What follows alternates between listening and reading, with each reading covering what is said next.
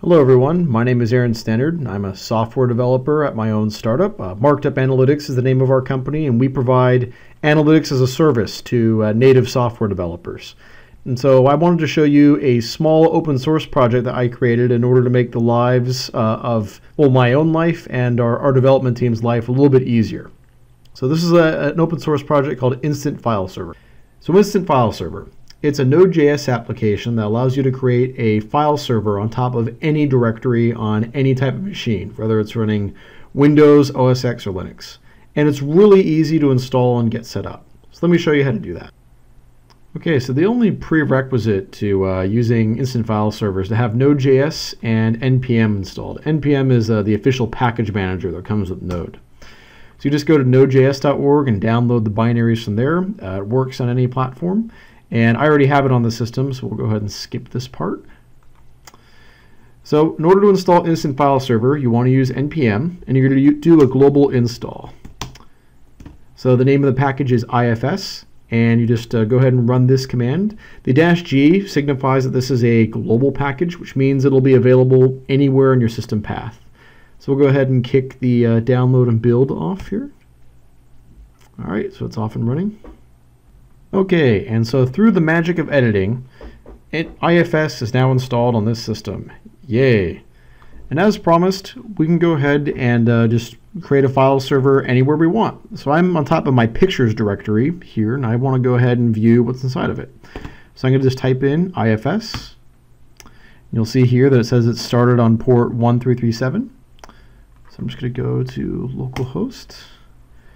Here you go. You can see a list of available images and photos and content. So let's see, I'll go ahead and take a look at, oh gosh, we'll look at this one. Up, oh, so a little puppy image. Even works on folders too, so if I want to go and drill into this folder here or move back up, IFS will take care of all that for me.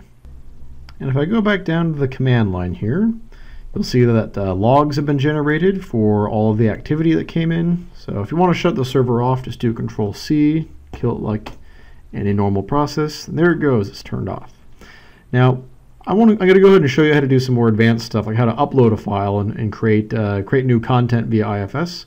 First, let me go ahead and start it with some new options. I'm going to go ahead and pass in a custom port. Uh, we'll go ahead and do port uh, 9000.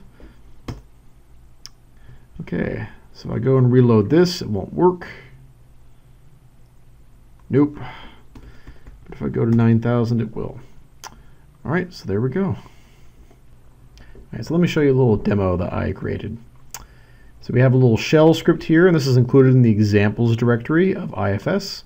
And this will go and upload the following image, examples, upload this little guy into uh, whatever the root directory is being served up. So I'm going to go and modify this real quick. I'm going to change that to port 9000.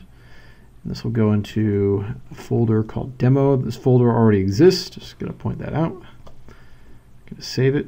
So what this is going to do is a multi-part form post uh, to IFS. And this will go and create a file uh, in this subdirectory with this name. So let's do it. So we go ahead and run upload image to SH.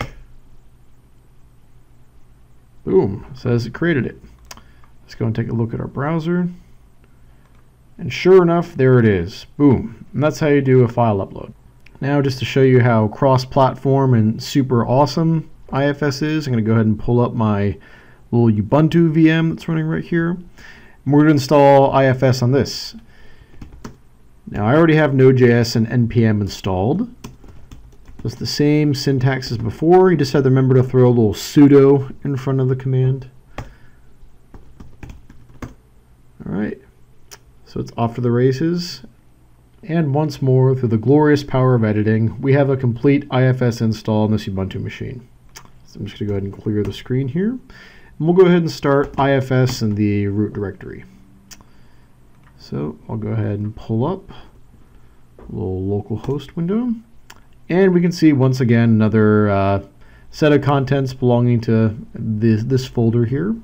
Look, I can even access it from a remote machine. So I'll go and paste in the, uh, I went ahead and grabbed the Ubuntu server's IP address while I was paused. And I can see the exact same content. if I take a look at the command line, it'll go and show the IP address these requests are coming from. And that's it. That's uh, IFS in a nutshell. So thanks for watching. If you'd like to use IFS, you can just install it via npm like I showed you. Or if you want to contribute and add your own functionality, please go to github.com slash Aaron on the web instant file server. And uh, basically, it's, everything's licensed under MIT. Uh, you can go ahead and do whatever you want with it, and we accept pull requests. Thank you very much.